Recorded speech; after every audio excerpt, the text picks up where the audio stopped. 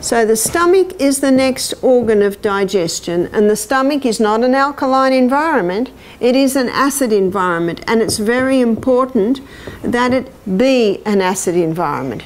You see the folds that line the stomach are like this and they are lined with gastric glands.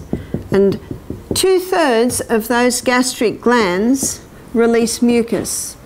And what that does is that provides a thick mucosa wall protecting the stomach about what is released in here.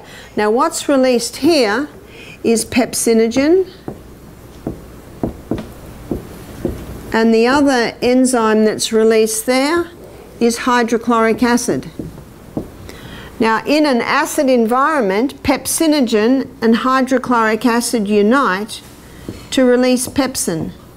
And pepsin is the enzyme that breaks down protein.